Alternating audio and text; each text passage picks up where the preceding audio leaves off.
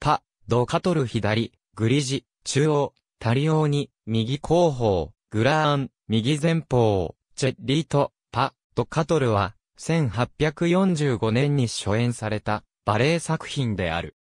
ジュール・ペローがシェーザレ・プーニの作曲により振り付けた一幕の作品で、1845年7月12日にロンドンのハーマジェスティーズ劇場で初演された。この作品は評論家や一般の観客にセンセーションを巻き起こした。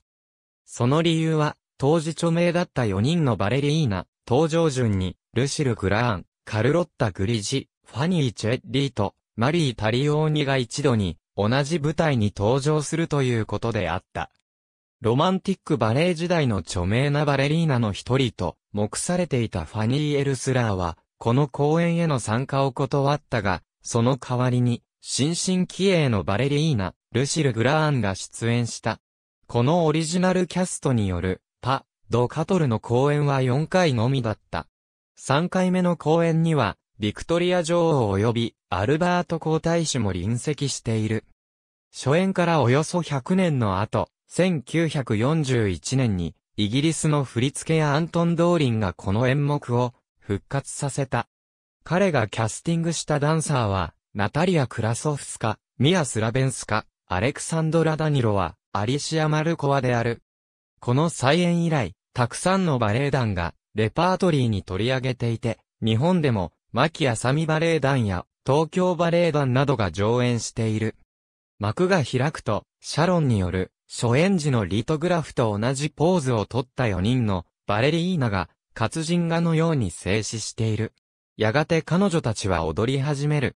4人の役名は、1845年初演当時のバレリーナ名にちなんでいて、それぞれのイメージを想起させるバリアシオンが振り付けられている。全員で踊るコーダが終わると、彼女たちはまた、仲良く元のポーズに戻って幕が降りる。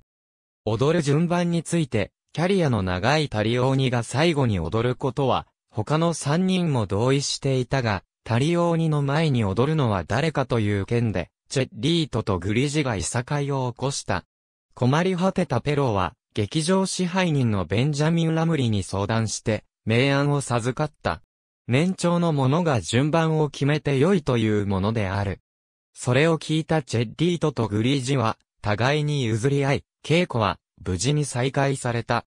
当時、タリオーニは40歳、チェッリート28歳、グリージ26歳、グラーン24歳であり、本番でも若い順からの登場となった。オックスフォードバレエダンス辞典386から387ページ。舞台への登場は、年齢の若い順による。